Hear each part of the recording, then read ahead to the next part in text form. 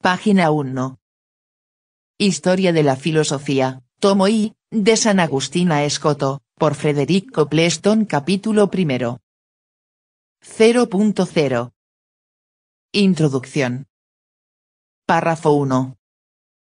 En este segundo volumen de mi historia de la filosofía había sido mi primera intención presentar el desarrollo de la filosofía a través de todo el periodo medieval, entendiendo por filosofía medieval el pensamiento y los sistemas filosóficos que fueron elaborados entre el Renacimiento carolingio a finales del siglo VIII d. J. C. y el final del siglo XIV.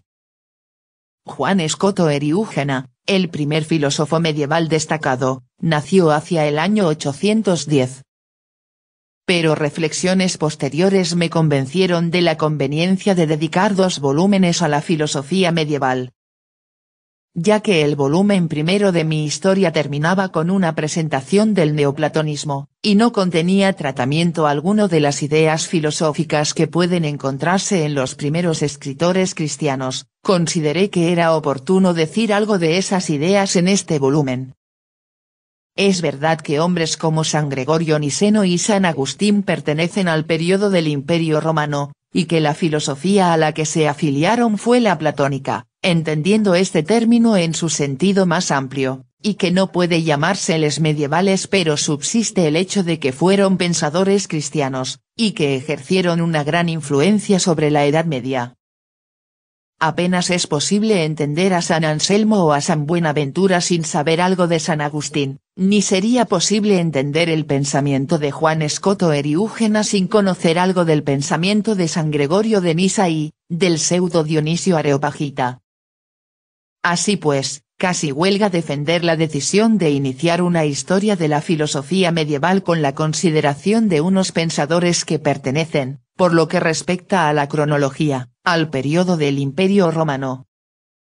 Comienza, pues, el presente volumen con la época más antigua de la literatura cristiana, y prosigue la historia de la filosofía medieval hasta llegar al final del siglo XIII, incluido Duns Scoto, 1265-1308 aproximadamente. En mi tercer volumen me propongo tratar de la filosofía del siglo XIV, con una especial atención al ocamismo. En dicho volumen incluiré también el tratamiento de las filosofías del Renacimiento, de los siglos XV y XVI, y de la Edad de Plata del pensamiento escolástico, aun cuando Francisco Suárez no murió hasta el año 1617, 21 años después del nacimiento de Descartes. Esa composición puede parecer arbitraria, y, en cierta medida, lo es. Pero es extremadamente dudoso que pueda trazarse una exacta y tajante línea divisoria entre la filosofía medieval y la moderna, y no sería indefendible que se incluyese a Descartes en el periodo de los últimos escolásticos, por contrario que eso pueda ser a las tradiciones historiográficas. No me propongo, empero, llegar a tanto, y si incluyo en el próximo volumen, el tercero, a algunos filósofos que puede parecer que pertenecen propiamente a la edad moderna, la razón por la que lo hago así es en gran parte una razón de conveniencia, la de dejar más desembarazada la continuación y poder, en el cuarto volumen, desarrollar de una manera sistemática la interconexión entre los más destacados sistemas filosóficos, a partir de Francis Bacon en Inglaterra y de Descartes en Francia, hasta Kant incluido. No obstante, cualquiera que sea el tipo de división adoptado, no ha de olvidarse que los compartimientos en que uno divida la historia del pensamiento filosófico no son compartimientos estancos, que las transiciones son graduales, no abruptas, que hay superposiciones e interconexiones, y que los sistemas que se van sucediendo no están cortados unos de otros con un hacha. Párrafo 2. Hubo un tiempo en que la filosofía medieval se consideró indigna de un estudio serio, cuando se daba por supuesto que la filosofía de la Edad Media era de tal modo esclava de la teología que era prácticamente indistinguible de esta, y que, en la pequeña medida en que podía ser distinguida, no consistía apenas sino en infecundas minucias lógicas y juegos de palabras. Dicho de otro modo, se daba por supuesto que la filosofía europea constaba de dos periodos principales, el de la antigüedad, que venía a reducirse a Platón y Aristóteles, y el moderno, cuando la razón especulativa comenzó de nuevo a gozar de libertad, después de la oscura noche de la Edad Media, durante la cual la autoridad eclesiástica había reinado absolutamente y la razón humana, atada por sólidas correas, se había visto obligada a reducirse al estudio inútil y fantástico de la teología, hasta que un pensador como Descartes rompió al fin las cadenas y dio libertad a la razón. En la antigüedad y en la edad moderna la filosofía podía considerarse como un hombre libre, mientras que en el periodo medieval había sido un esclavo. Aparte del hecho de que la filosofía medieval compartió de la manera más natural la desestimación con que solía verse, en general, a la Edad Media, un factor al que debe atribuirse en parte la actitud adoptada ante los pensadores medievales fue sin duda el lenguaje utilizado, a propósito del escolasticismo, por hombres como Francis Bacon y René Descartes.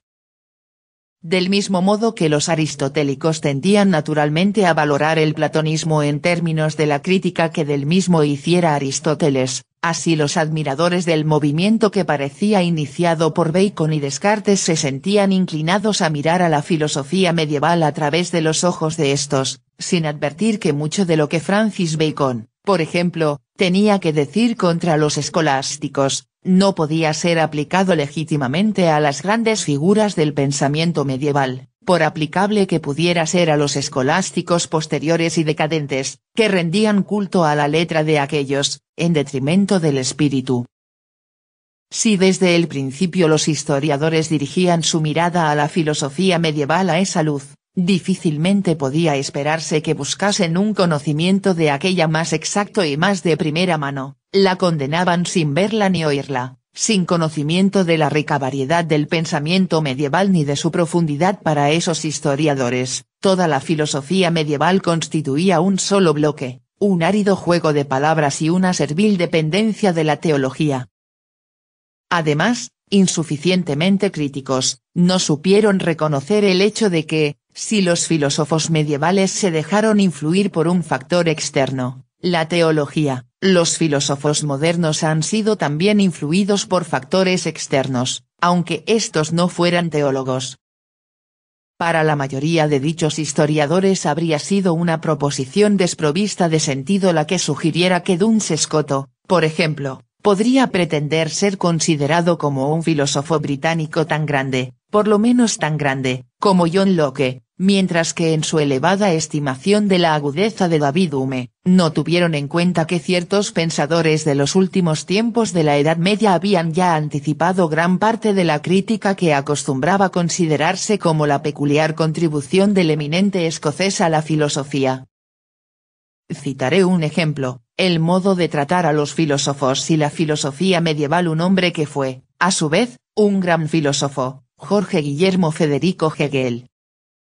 es un interesante ejemplo, puesto que la idea dialéctica que Hegel tenía de la historia de la filosofía exigía evidentemente que la filosofía medieval fuese registrada como habiendo hecho una contribución esencial al desarrollo del pensamiento filosófico, y, por lo demás, Hegel, personalmente, no era un simple antagonista vulgar de la filosofía medieval.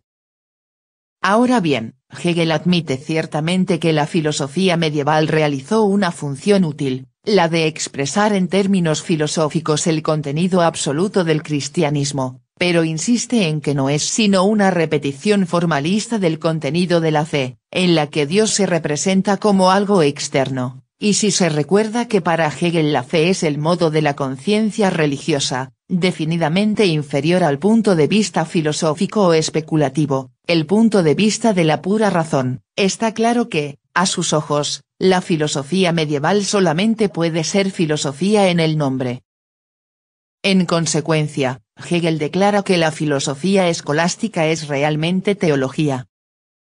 Lo que Hegel quiere decir con eso no es que Dios no sea objeto de la filosofía, lo mismo que de la teología lo que quiere decir es que, aunque la filosofía medieval considerara el mismo objeto que considera la filosofía propiamente dicha, Lo hacía según las categorías de la teología, en vez de sustituir las conexiones externas de la teología, por ejemplo, la relación del mundo a Dios como la del efecto externo a su libre causa creadora, por las categorías y conexiones sistemáticas, científicas, racionales y necesarias de la filosofía. La filosofía medieval fue, según eso, filosofía por lo que respecta a su contenido, pero, por lo que respecta a la forma, fue teología y, a los ojos de Hegel, la historia de la filosofía medieval es una historia monótona, en la que los hombres trataron en vano de discernir algún estadio claro y distinto de verdadero progreso y desarrollo del pensamiento. TV escribe.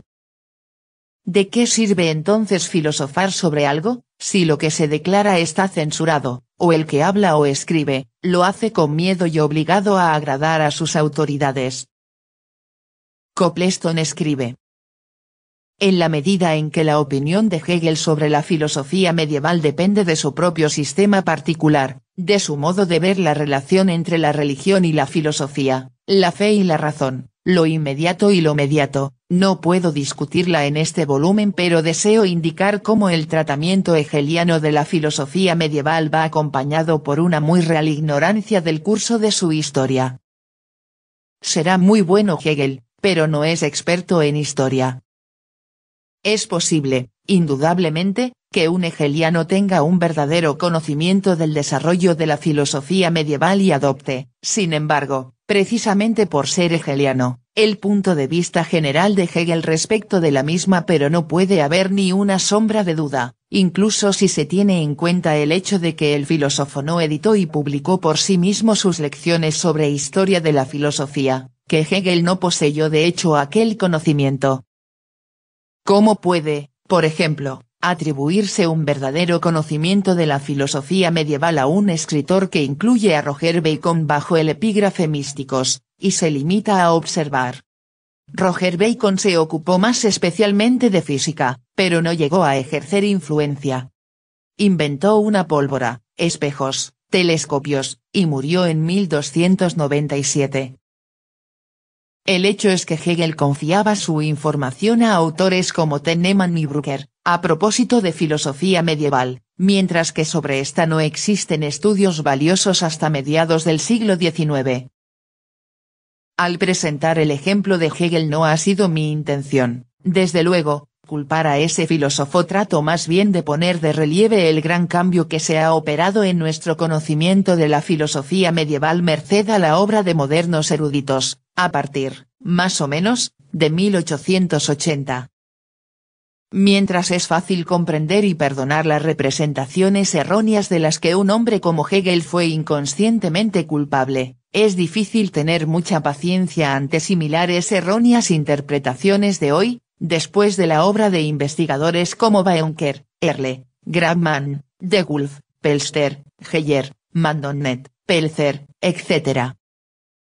Después de la luz que han esparcido sobre la filosofía medieval los textos publicados y las ediciones críticas de otras obras ya publicadas anteriormente, después de los espléndidos volúmenes editados por los padres franciscanos de Cuarachi, después de la publicación de tantos números de serie de Beitraje, después de la producción de historias como la de Maurice de Wolf, después que los lúcidos estudios de Etienne Gilson, Después de la paciente labor realizada por la Medieval Academy of America, no parece ya posible pensar que los filósofos medievales fueran todos de la misma clase, que la filosofía medieval estuvo falta de riqueza y variedad, que los pensadores medievales fueron uniformemente hombres de corta estatura y dotes mediocres. TV escribe. Posiblemente, los filósofos quieren publicar sus ideas, pero en esa época medieval, la censura de la Iglesia estaba al acecho. Cuando el sacerdote tiene el poder político, todos son creyentes, obedientes y mansos. Copleston escribe. Además, escritores como Gilson nos han ayudado a reconocer la continuidad entre la filosofía medieval y la moderna. Gilson ha puesto de manifiesto cómo el cartesianismo dependía del pensamiento medieval más de lo que primeramente se creyó, Queda todavía mucho por hacer en el trabajo de edición e interpretación de textos, basta mencionar el comentario a las sentencias, de Guillermo de Ockham, pero ahora nos es ya posible ver las corrientes y el desarrollo, el esquema y la textura, las grandes figuras y las figuras menores de la filosofía medieval, en una mirada sinóptica. Párrafo 3. Pero, aunque la filosofía medieval sea en efecto más rica y más variada de lo que a veces se ha supuesto, no tienen razón los que dicen que se mantuvo en una relación tan íntima con la teología que es prácticamente indistinguible de esta? ¿Acaso no es un hecho, por ejemplo, que la gran mayoría de los filósofos medievales fueron clérigos y teólogos, que seguían los estudios filosóficos con espíritu de teólogos, o, incluso, de apologetas?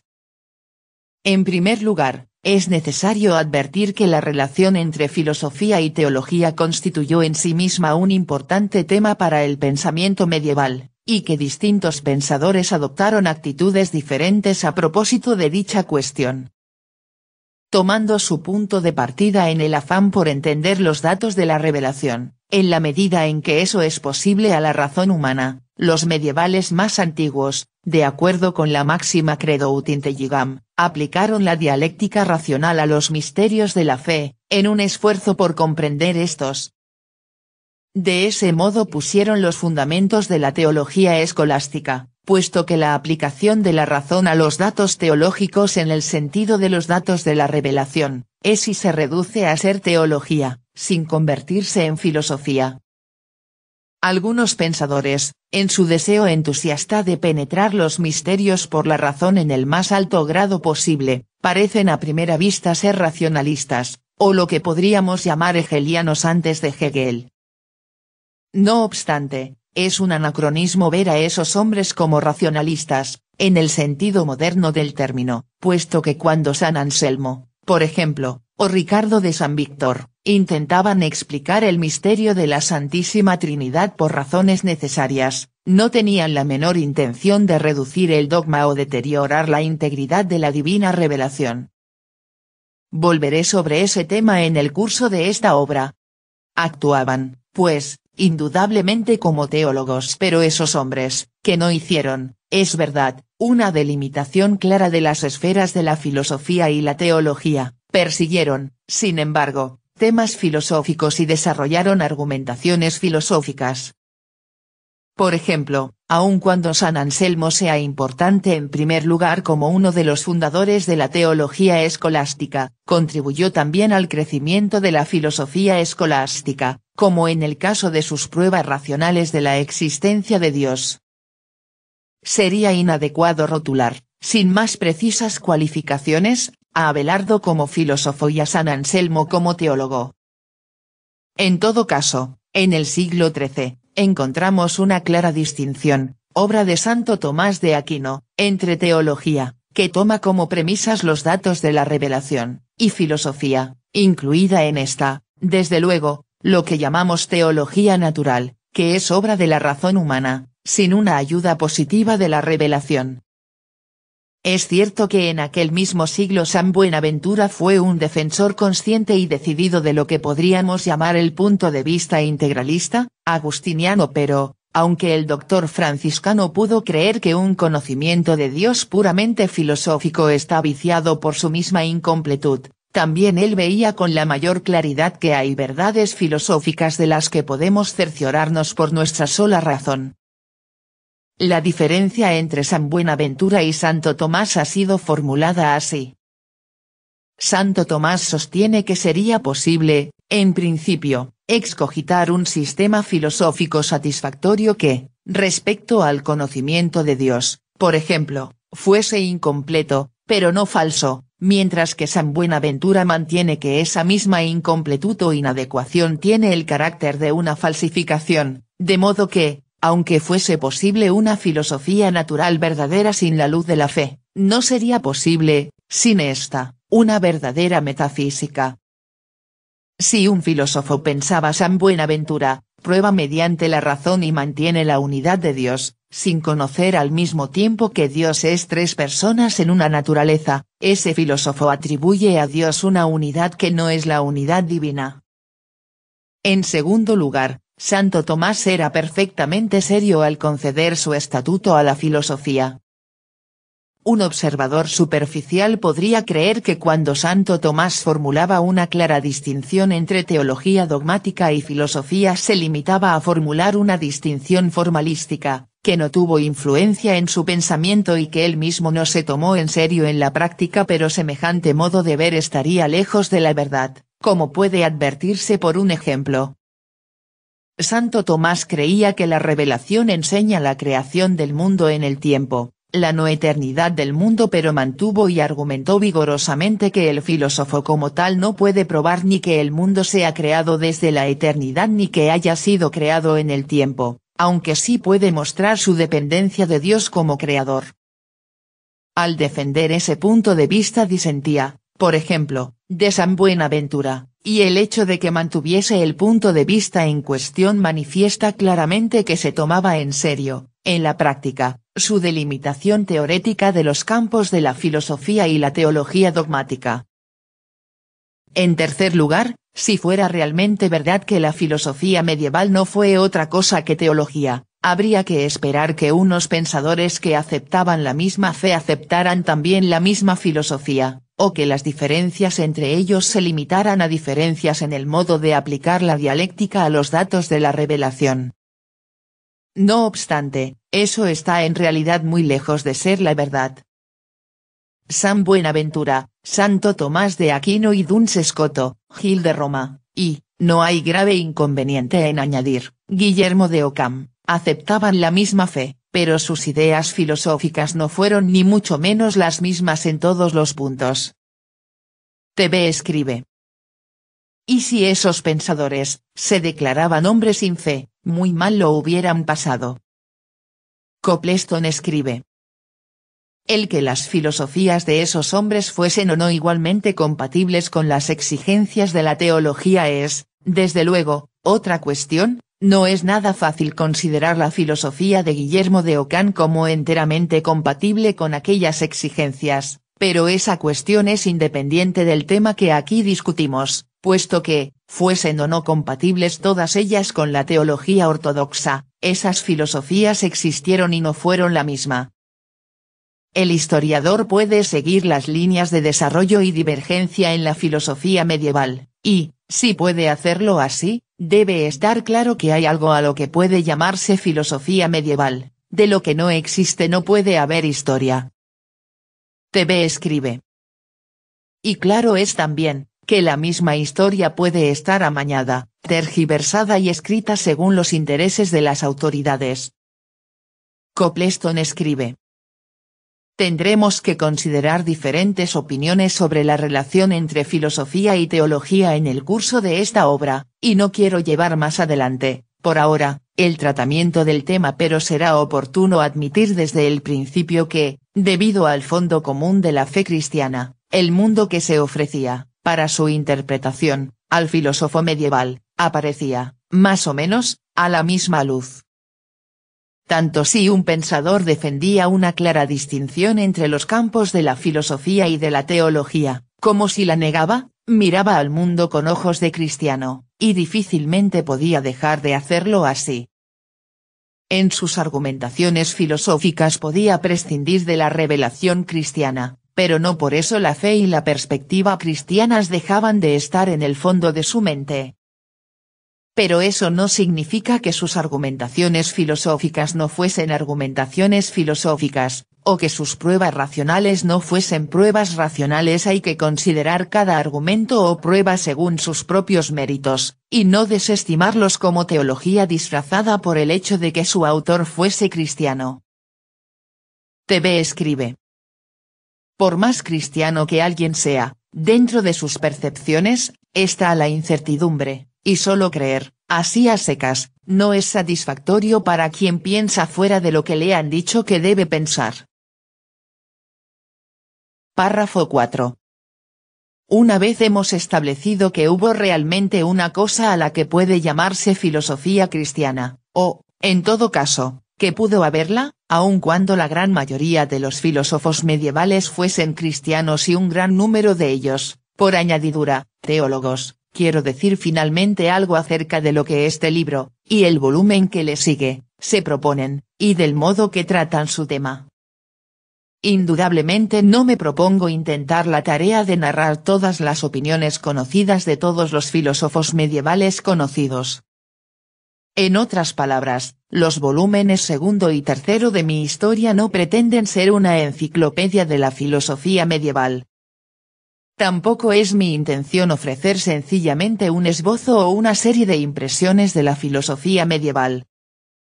Me he propuesto hacer una relación inteligible y coherente del desarrollo de la filosofía medieval y de las fases a través de las cuales pasó, omitiendo por completo muchos nombres y seleccionando, para su mejor consideración, a aquellos pensadores que son de especial importancia e interés por el contenido de su pensamiento, o que representan e ilustran algún tipo particular de filosofía o algún particular estadio del desarrollo.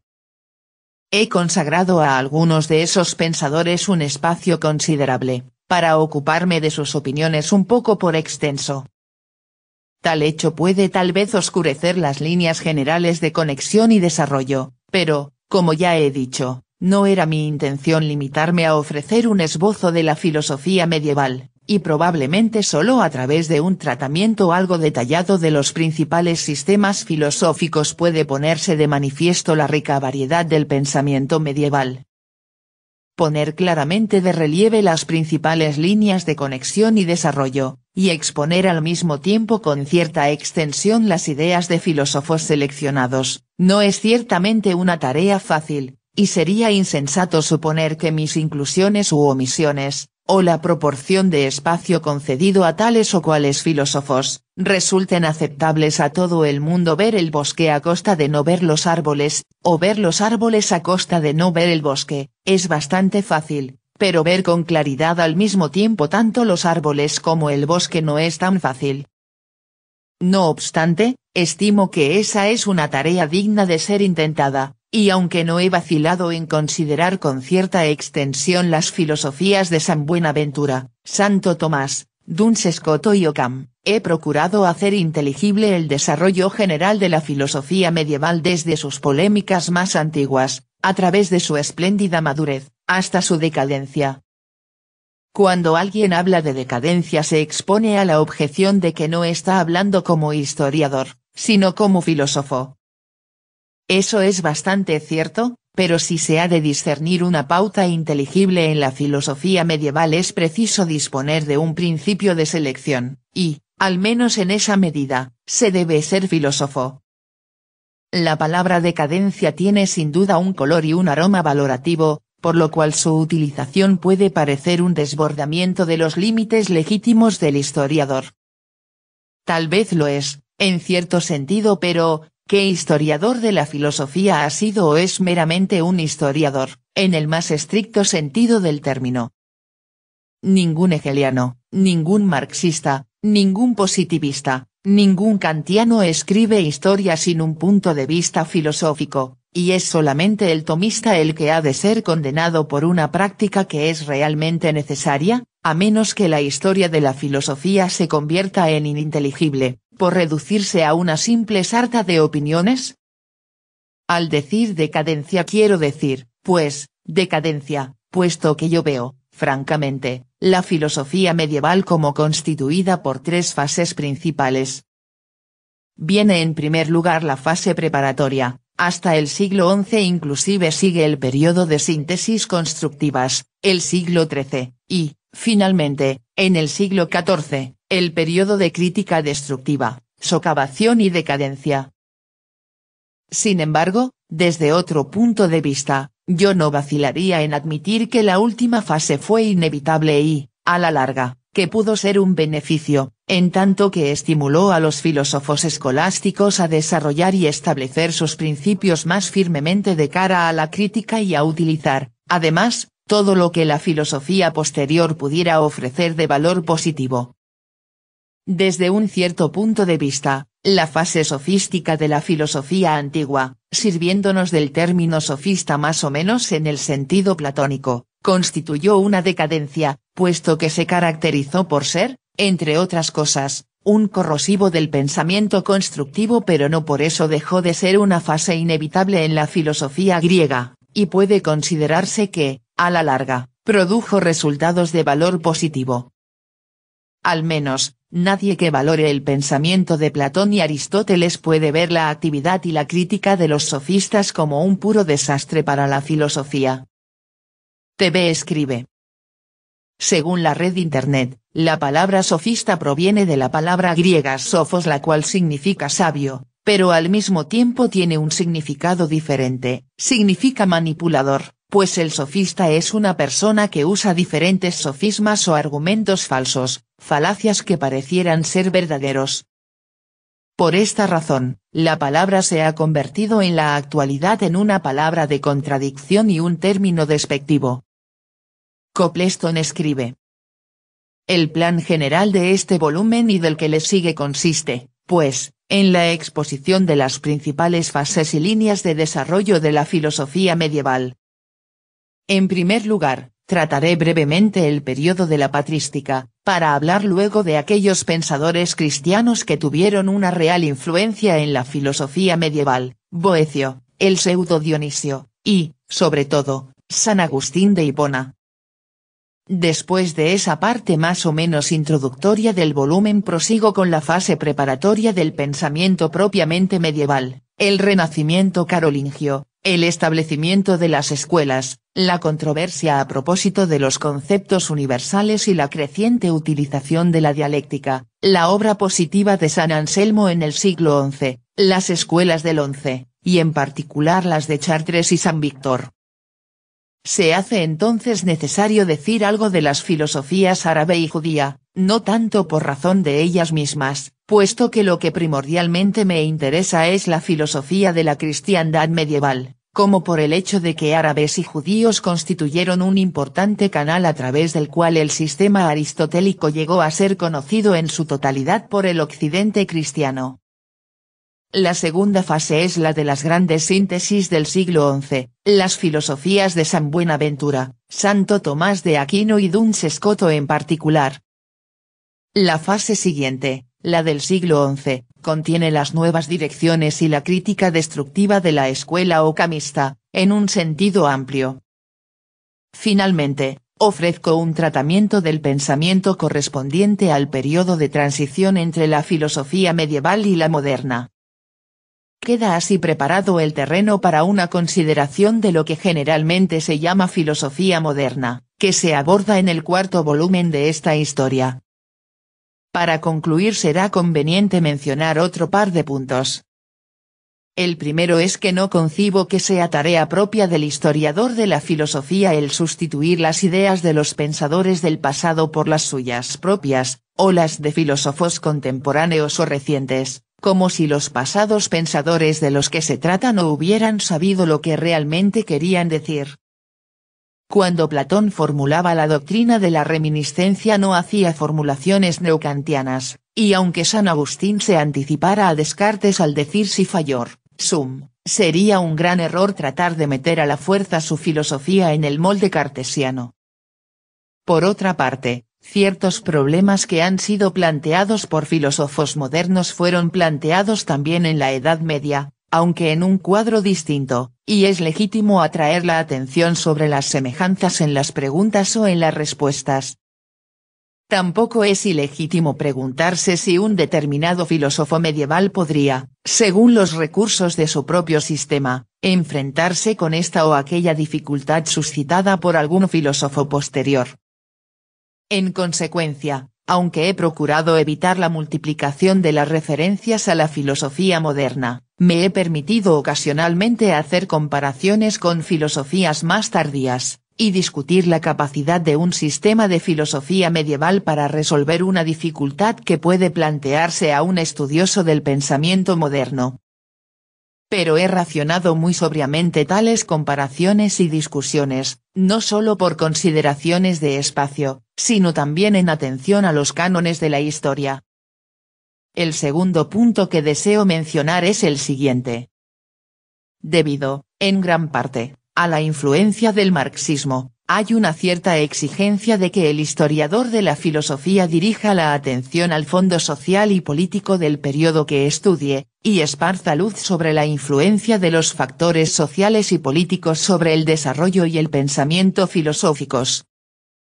Pero, aparte del hecho de que, para mantener la propia historia dentro de unos límites razonables, uno debe concentrarse en la filosofía misma, y no en acontecimientos o procesos políticos y sociales, es ridículo suponer que todas las filosofías o todas las partes de una determinada filosofía estén igualmente influidas por el milieu social y político.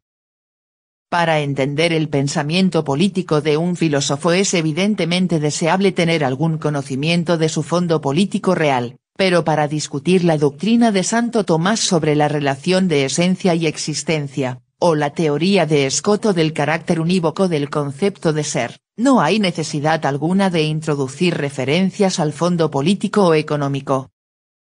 Además, la filosofía está influida por otros factores, tanto como por la política y la economía.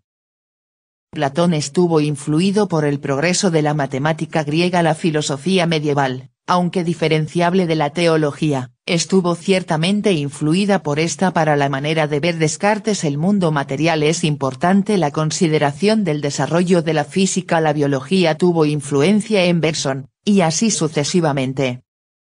TV escribe. Así como ahora, la mecánica cuántica tiene influencia en los pensadores de hoy. Incluso, los charlatanes, meten cosas de la mecánica cuántica a tus disertaciones. Copleston escribe. Considero, pues, un gran error tratar de un modo tan exclusivo del desarrollo político y económico y explicar el progreso de las demás ciencias sobre la base decisiva de la historia económica, lo que implicaría la verdad de la teoría marxista de la filosofía. Aparte, pues, del hecho de que consideraciones de espacio no me han permitido decir gran cosa del fondo político, social o económico, de la filosofía medieval, he desatendido deliberadamente la injustificable demanda de que la superestructura ideológica sea explicada en términos de la situación económica. Este libro es una historia de un cierto periodo de la historia de la filosofía no es una historia política ni una historia de la economía medieval, Página 12.